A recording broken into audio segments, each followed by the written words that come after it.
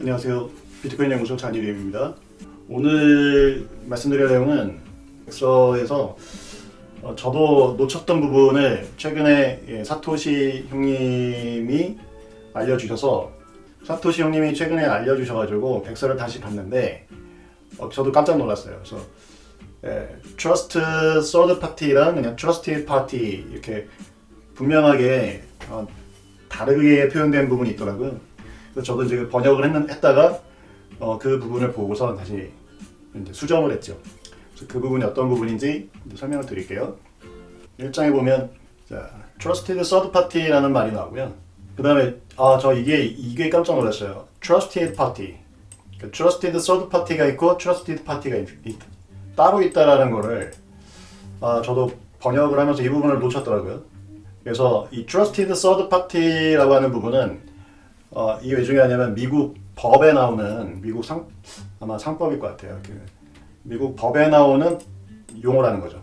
그냥 일반적으로 이렇게 서술적으로 표현한 내용이 아니라 말 그대로 그냥 신뢰하는 제3자라는 게 아니라 어, financial institution 이렇게 이제 온라인 commerce 이런 데서 할 때 이 trusted third party라고 하는 거는 일종의 말 그대로 중개자를 얘기하는 거죠. 제가 이제 이 부분에 대해서 보고 놀란 또 하나의 이유는 실제로 제가 그 2020년에 버스콘이라고 하는 이제 어, 사업을 진행하면서도 좀 이와 유사한 이슈로 이제 사내에서 좀 어, 고민이 많았었고요.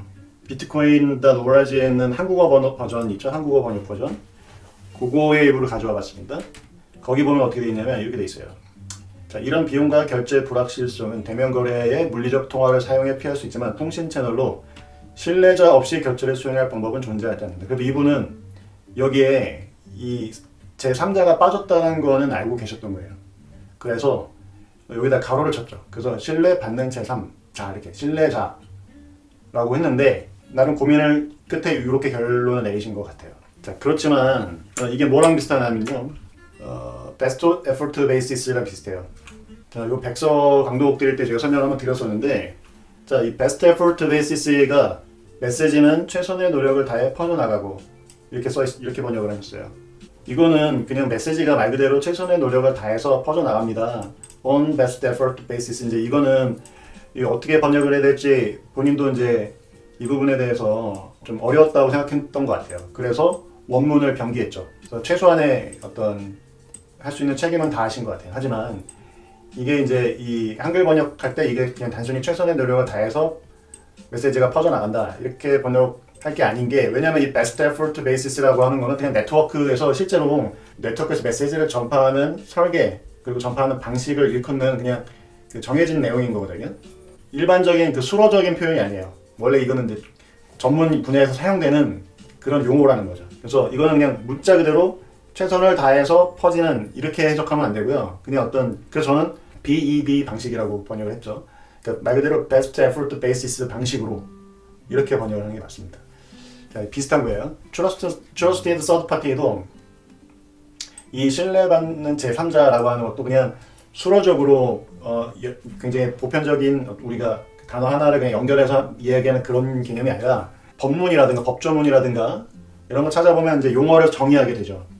그렇게 법문에 정의된 어떤 용어들이 있습니다. 거기에 나오는 용어라는 거예요. 그래서 그거와 유사하게 이 Trusted Third Party가 Trusted Third Party는 법문에 나오는 이제 그 용어고 Without a Trusted Party 이 Trusted Party는 말 그대로 신뢰하는 당사자가 되는 거죠. 당사자. 그래서 이 Trusted Party랑 이 Trusted Third Party가 구분돼서 이게 백서에서 표현됐다라는 거를 저도 놓쳤습니다. 그래서 이 부분에 대한 번역을 저도 최근에 바꿨어요. 이렇게요. 신뢰하는 상대 없이. 기존에는 어떻게 돼 있었냐면 제가 번역한 거조차도 여기에 신뢰하는 제3자 없이 이렇게 저도 이제 그 부분을 간과했던 거죠. 그러면 이제 이게 왜 중요하냐? 그걸 설명을 좀 드릴 텐데 3자 거래가 있고요. 양자 거래가 있어요. 백화점에 입점한 매장에서 매출이 발생했어요. 나이키 매장이 있는데 백화점 안에 자, 백화점에 입점한 매장에서 매출이 발생했는데 자, 요게 그 매장과 백화점의 계약 관계에 따라서 이 매출이 백화 그 백화점의 입장이 판매 중개업자가 될 수도 있고 직접 판매자가 될 수도 있어요. 자, 먼저 직접 판매자가 더 익숙한 거니까 이걸 설명드리자면 이건 뭐냐면 백화점이 만약에 이제 브랜드가 나이키다. 나이키 브랜드다라고 했을 때 백화점에 나이키 운동화를 하나 팔았어요. 그런데 이 매장이 나이키 매장이긴 하는데 이게 나이키 직영 매장이 아니라 이 백화점에서 운영하는 나이키 매장이죠. 그래서 무슨 얘기냐면 백화점에서 이 나이키 운동화를 직접 도매해서 사다가 자기 매장에 진열을 해놓고 고객들한테 판매를 하는 거예요. 자 그렇게 되면 이 나이키를 운동화를 도매가로 사오는 가격이죠. 구입비, 구매비, 그 다음에 이제 판매비. 실제로 이렇게 뺐을 때 이건 이제 이익이 되는 거고 판매비가 다 매출일로 잡히는 거죠. 왜냐면 백화점에서 물건을 자기가 사서 자기께 된 거를 그러니까 자기가 소유한 물건을 판매를 하는 거니까 자기 재고를 판매하는 거예요. 이때는 직접 판매. 자 그런데 어떤 경우가 있냐면 판매 중개가 있어요. 아니면 판매 대행. 그래서 백화점에서 물건을 손님들한테 팔면 백화점은 중개자예요. 그리고 나이키 실제 그 업, 업소가 있고 고객이 되겠죠. 자 그러면 실제 거래는 이 나이키 매장에 그 물건을 납품하는 나이키가 그러니까 돈은 실제로 고객이 백화점에 있는 그 매장에서 결제를 합니다. 그러면 백화점은 결제받은 돈을 이렇게 정산을 해줘요. 나이키한테. 그래서 돈의 흐름은 어떻게 되면 만약에 10만 원짜리다. 그러면 이제 10만 원을 내요. 고객이. 고객이 10만 원짜리를 내요. 그리고 그러면 여기 단가 수수료가 어, 만약에 5만 원이다. 그러면 백화점이 5만 원을 남기고 판매 수수료로 5만 원을 이 나이키한테 줘요. 자 그런데 이때 매출이 어떻게 잡히면 나이키 쪽에서는 매출이 아 똑같이 5만 원 하니까 좀 그렇네요. 7만 원 할게요. 여기는 이제 백화점은 3만 원, 판매 수수료가 3만 원, 백화 그 나이키에서는 7만 원. 그러면 이 나이키 이 7만 원은 순이익이 되는 거고요. 수익. 매출은 어떻게 잡히냐면 이 나이키 쪽에 10만 원이 잡혀요. 10만 원이 잡히고 백화점에 있어서의 매출은 요 3만 원, 3만 원이 수수료로 3만 원이 이렇게 잡히는 거예요.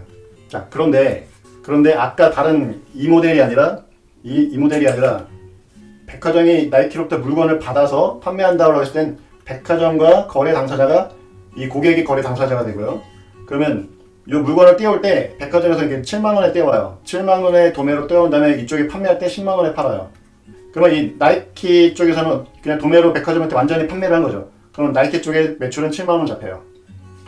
그리고 백화점은 고객한테 10만 원에 팔았죠. 그러면 10만 원이 매출이에요. 그 다음에 이제 이익이 얼마 되겠죠? 마진이 3만 원이죠. 그러면 3만 원이 이익이 되는 거예요. 단순하게 얘기하면.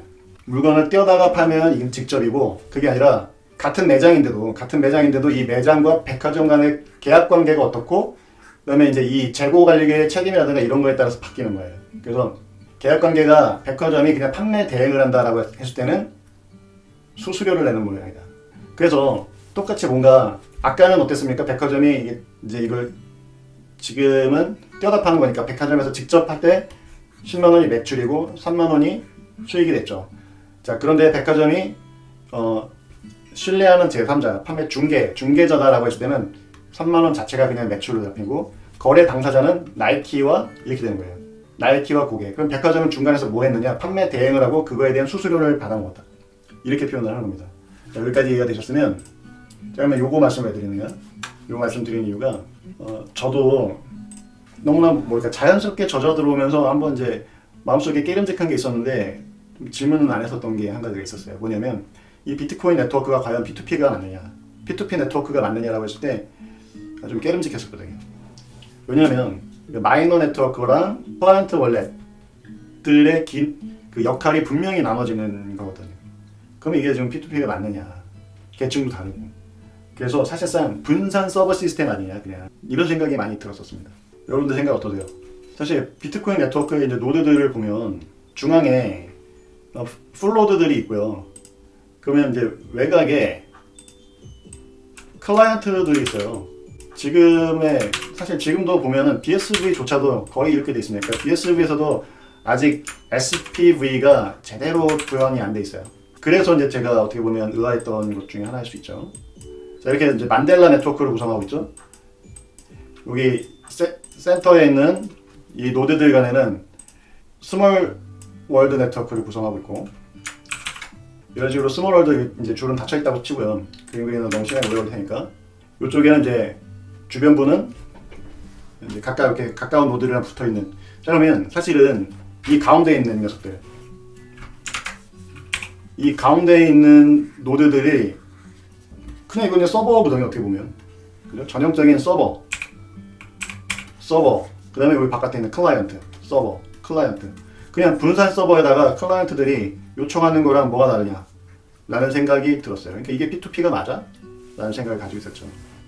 자, 그런데 어, 백서에도 나와 있듯이 trust, trusted third party는 우리가 이제 그 부분은 제거하지만 네트워크에서 trusted party가 남아 있다는 거예요. 그러니까 무슨 뜻이냐면 자, 여기서 transaction을 전파할 때 우리가 흔히들 지금 방식은 대부분의 블록체인들이 이렇게 되죠. transaction이 여기서 발생을 하면 이렇게 broadcast를 해요.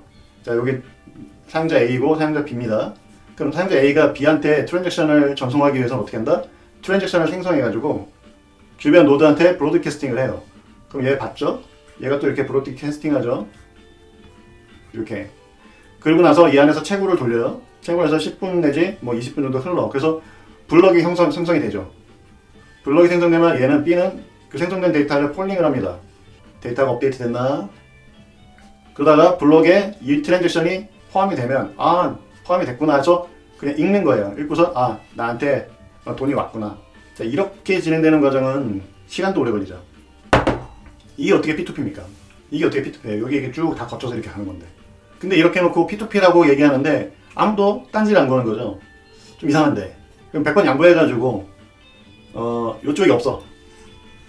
클라이언트 노드가 없고 전부 다 풀로드 그러니까 BTC, 비트콩 비트콩이 얘기하는 것처럼 전부 다뭐 full node만 있다고 칩시다. 그러면 full node가 이제 A가 있고요. B, C, D 이렇게 있어요. 그럼 이제 A가 C한테 transaction을 보낸다고 할때 마찬가지입니다. 얘도 이렇게 broadcasting을 해요. transaction. C가 받아요 받았는데 이거 받았다고 취급하는 게 아니라 어쨌든 여기서 돌려. 그러니까 C가 노드이기도 하지만 돈을 받아야 되는 수취인이 되기도 하죠. 돈을 받아야 되는 수취인이라는 얘기는 뭐냐면 얘가 이제 merchant일 가능성이 있죠. 상인. 그러면 돈을 받고 나이키 운동화를 보내줘야 되는데 언제 보내준다? 자 잘못돼 잘못 이해하고 있는 방식에서는 여기 이제 transaction이 왔지만 transaction이 왔을 때 직접 받는 게 아니라 여러 노드를 통해서 broadcasting을 통해서 받는 거예요. 사실 A가 C한테 직접 주는 게 아니라 B한테 보내면 B로부터 받는 거예요 이렇게 이렇게 돌아서 예, A, B, C가 있는데 직접 가는 게 아니라 이렇게 해서 이렇게 받는 거죠. 그 다음에 받았다고 해서 바로 수신 처리되는 게 아니라 라운드 돌아서 블럭이 채굴이 되면 다음 라운드 블럭이 채굴돼서 이, 그 블럭에 transaction이 포함이 되면 그거를 C가 자기가 채굴한다는 보장이 없지 않습니까? 다른 누구가 채굴할 수도 있겠죠. 그러니까 이 전체 네트워크가 이, 이 transaction이 채굴 때까지 기다려요. 그런데 어 채굴 됐네 그럼 내가 수취한 거야. 이런 그 다음에 이제 물건을 보내줘요. 자, 이 과정이 최소 10분 이상 걸리겠죠. 10분 정도. 자, 이거를 P2P라고 볼 수 있나요? A와 C 간의 P2P 거래라고 볼 수 있나요? 이상하죠.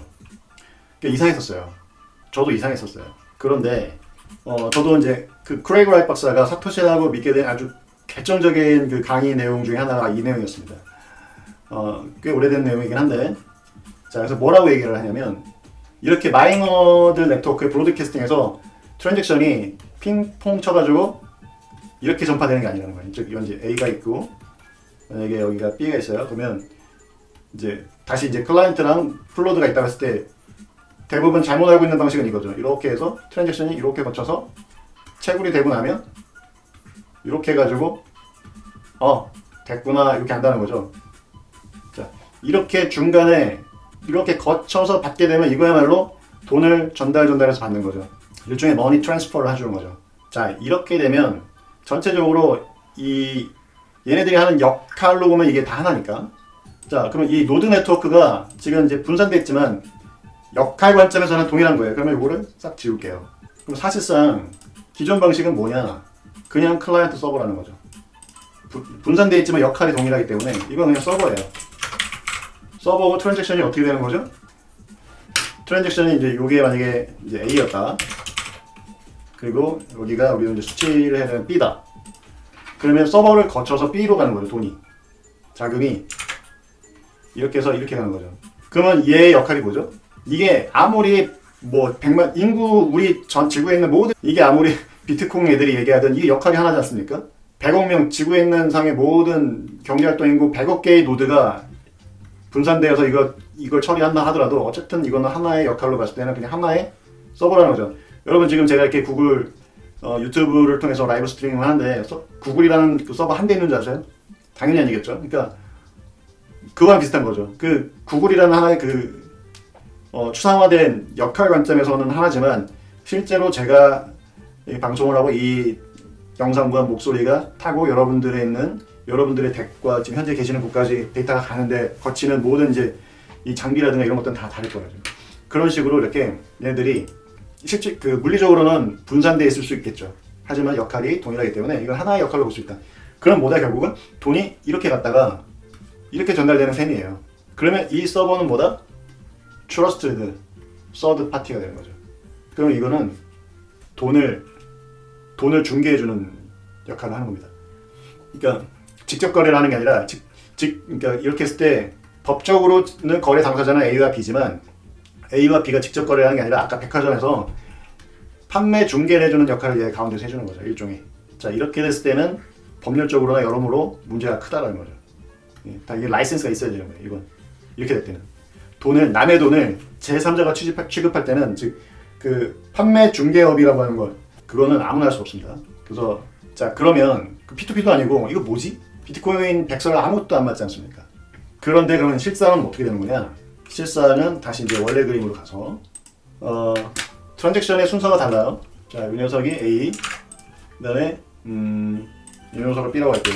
자, A가 B한테 A와 B가 거래를 하면 P2P 거래를 할 때 직접 transaction이 이렇게 갑니다. 처음에 A가 B에게 직접 connection을 해요. 그래서 이제 IP to IP 이제 통신을 통해서 A가 B에게 connection을 합니다. 보통은 이제 이 B가 어, merchant, 대규모 merchant, 뭐 쿠팡이나 11번가 라고 한다면 이, 노, 이 B의 IP는 공개가 돼 있겠죠.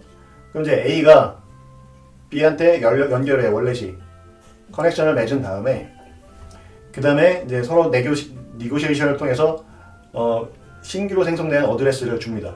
A한테. B가 A한테 키는 보안상 한 번만 사용하라고 했죠. 그렇기 때문에 IP connection을 한 다음에 새로운 address를 줘요. B의 address를. 그래서 address B, A, B라고 할게요. 자, 그러면 A는 A, B라고 하는 address로 전송하는 transaction을 만들어요.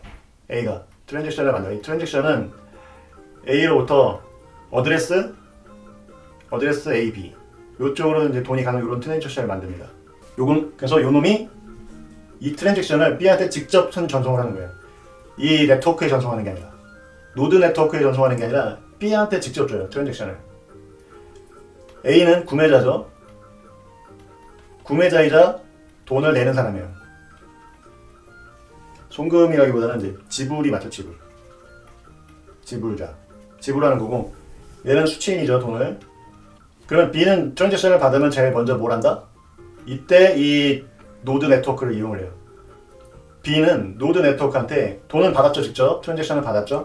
B는 노드 네트워크한테 query를 날려요. request를 날려요. 그래서 확인을 해봅니다. A가 지금 보낸 돈이 UTXO가 이중 지불이 됐는지 안 됐는지. 자, 그래서 이 네트워크가 기능하는 법은 그냥 이중 지불 방지를 확인하는 거예요. 이중 지불 방지를 위해서 timestamping을 하는 네트워크가 있는 거죠. transaction 역사를 저장하는 별도의 네트워크예요. 자, 그러면 이 네트워크와 이 월렛, SPV 월렛을 하는 일반 사용자와의 관계가 어떻게 된다? 이게 trusted, trusted party가 되는 거예요. 실제로 그렇죠. 지금 보세요.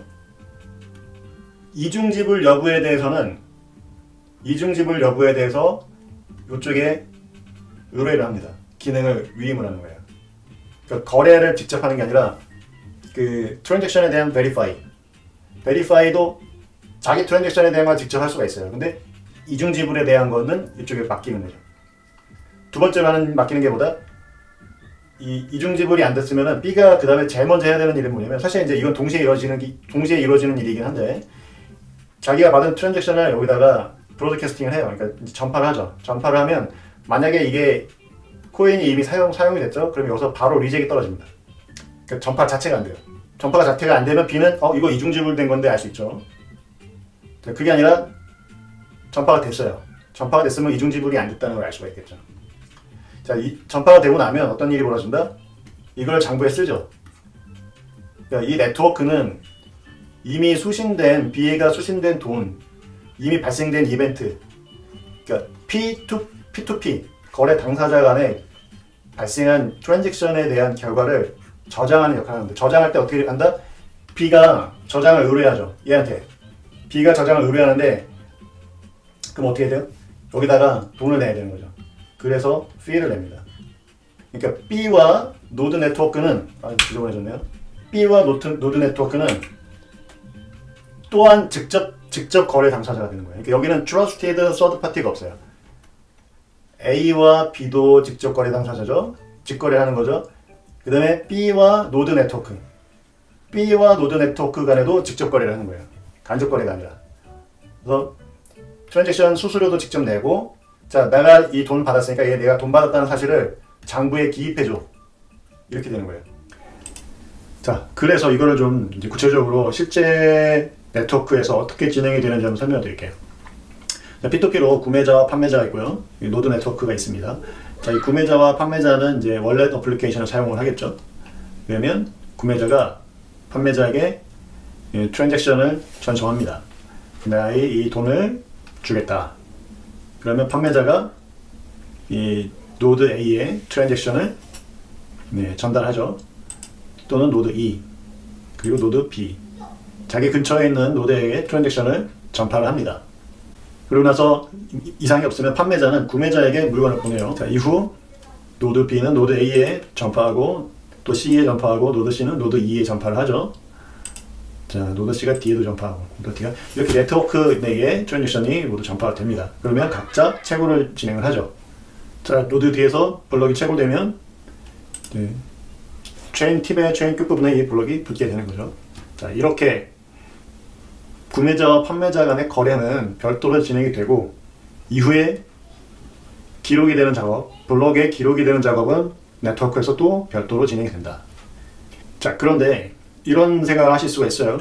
peer-to-peer처럼 할 경우에 이중지불의 문제를 해결할 수 없지 않느냐. 판매자가 이중지불에 피해가 될 수, 이제 피해자가 될 수 있지 않냐. 이런 생각을 해보실 수가 있습니다. 자, 그 부분을 어떻게 막는지 보실게요. 자, 구매자가 이중지불을 위해서 먼저 노드 E에다가 어, 트랜잭션을 하나 만들었어요. 이거는 어, 자기 자신의 다른 계좌로 어, 보내는 송금이죠. 자, 그런 다음에 동일한 코인을 이 판매자 어드레스로 보내는 트랜잭션을 생성합니다. 자, 이게 바로 이제 이중 지불을 시도한 거죠. 자, 이렇게 됐을 때 peer-to-peer 모델로 보게 되면 어떻게 된다? 판매자가 노드 A에게 이걸 전송을 해봐요. 근데 노드 A는 아직 이 이중 지불된 먼저, 먼저 이중 지불된 이 빨간색 트랜잭션을 받지 않았죠. 그, 그렇기 때문에 노드 A는 이 판매자의 트랜잭션을 accept를 합니다. 그러나 노드 E 경우는 어떻죠? 노드 E는 이미 어, 구매자로부터 빨간색 트랜잭션을 받았죠. 동일한 코인을 사용한 트랜잭션은 이제 판매자가 어, 발생을 하니까 이중 지불이라는 걸 확인했죠. 노드 E는. 그래서 어떻게 하죠? 노드 E는 이 트랜잭션을 거부합니다. 중요한 건 이게 채굴을 하기 전에 거부가 된다는 거예요. 여러분들이 아, 아셔야 될 게 기술적으로 이 블록체인 비트코인 노드들은 트랜잭션을 전송할 때 문제가 있으면 수신 자체를 하지 않아요. 그 채굴을 안 하는 게 아니라 수신 자체를 하지 않습니다. accept를 하지 않습니다. 자 그럼 판매자는 바로 이, 이 단계에서 아, 문제가 있구나 이 대금은 알게 되겠죠? 그래서 어떻게 하죠? 자, 이 대금에 대한 수신을 거부합니다. 이후에 트랜잭션이 전파가 되겠죠? 자, 그래서 어떻게 되죠? 노드 E가 블록, 다음 블록 찾, 찾게 되면 이 블록이 chain tip에 붙게 되겠죠. 이때는 빨간색 트랜잭션. 어차피 이거는 구매자가 자기 자신의 계좌로 보낸 돈이니까 자기가 자기한테 보낸 돈 다시 돌려받는 거고요. 판매자는 이 돈을 못 받죠. 이 돈을 못 받게 되는 거고 그, 렇기 때문에 물건을 주지 않죠. 자 이렇게 이중지불을 막게 되는 겁니다. 여러분들이 지금까지 알고 있었던 내용이랑 완전 다르죠. 그러니까 지금까지 여러분들이 이제 알고 있었거나 아니면 뭐 비트코인이나 이런 데서 하는 얘기들 아니면 이더리움이든 다 어떻습니까? 다 모든 wallet들이 이 서버 일종의 이 서버 팜만 바라보고 있죠. 전혀 P2P도 아니고요. decentralize도 아니에요. 여기, 여기가 아무리 물리적으로 많은 노드가 있다. 그게 무슨 상관입니까? 이 역할이 추상적으로 하나인데 다 같은 일을 하고 있고 이거는 한 대가 있든 1억 대가 있든 같은 개념입니다. 이렇게 됐을 때. 예. 그리고 이렇게 직거래가 아니라면 다 모두 다 이게 뭐다? 거래 중개자가 역할을 하는 거다. 이더리움, 비트콩, BCH, 도지코인 전부 다 여전히 trusted third party가 지금 있는 거예요. 심지어는 비트코인 SV도 지금의 모습 자체로 어, 비트코인 SV도 지금은 direct로 이렇게 안 가죠. 대부분 어, HandCash 같은 경우는 HandCash 같은 경우는 어떻게 되냐면 일종의 full node를 운영을 해요. 그래서 transaction을 발생하면 이렇게 하고 이렇게 가긴 하죠. 이렇게 해서 이렇게. 그런 다음에 처리가 되고 이렇게 broadcasting이 되는 거죠. 아, broadcasting도 이 wallet을 중에 이렇게. 다만 이 transaction을 생성할 때 원래 이렇게 non-custody이기 때문에 wallet의 이 local에 있는 wallet의 키로만 사인할 수 있기 때문에 서명은 여기서 이루어지죠. 그러니까 transaction이 생성되는 건 여기서 이루어지는데 transaction의 전파 경로가 이렇게 된다는 거예요. 심지어 비트코인 SV도 아직은 그 완벽한 모습이 아니라는 거죠. 이렇게 IP to IP로 실제로 돼야 그 그때서야 진정한 P2P 어, 거래라고 할 수가 있다. 자, 이해가 좀 되셨나 모르겠네요. 포를 한번 해보겠습니다. 대충이라도 이해했다. 1번 전혀 감이 안 잡힌다. 9번 3번이나 5번도 계실 수 있을 것 같은데 자 그래서 정말 다시 한번 제가 느끼지만 이 사토시 형님한테 좀 배우는 게 끊임이 없어요. 화수분 같아, 화수분. 그래서 많은 분들이 이런 얘기합니다. 저기 크레이그 라이트 박사 없으면 없어도 된다. BSV는 스스로 잘 클 수 있다. 크레이그 박사가 좀 뭐랄까요? 어, 그 SNS, 특히나 트위터나 이런 데서 이제 입담이 매, 매우 거칠죠. 뭐 그러다 보니까 이제 신뢰도 많이 잃고 적들도 많이 생기고 아시다시피 예, 그 아스퍼거 증후군이기 때문에 autism 때, 때문에 그런 건 알지만 그걸 안다고 생각하더라도 이제 저도 가끔 뭔가 질문했는데 약간 공격적으로 딱 피드백이 오고 그러면 아, 왜 이러지? 이럴 때가 있어요. 자, 그러다 보니까 여기저기 좀 이렇게 공격도 많이 받고 항상 이슈를 막 만들어내죠. 자, 그래서 아, 이 크레이그 박사가 가장 어, 위크 포인트다. 비트코인 SV의 입장에서는 이렇게 얘기하는 사람들이 많이 있어요. 근데 저는 그렇게 생각하지 않습니다. 왜냐하면 어, 아직도 비트코인은 잘 이해하지 완벽하게 이해되지 않았어요. 우리 인류가. 그래서 사토시가 아직도 해줘야 될 일이 많다. 그걸 한번 다시 느꼈고요. 지금까지 비트코인 연구소의 쟈니 림이었습니다. 빠이빠이.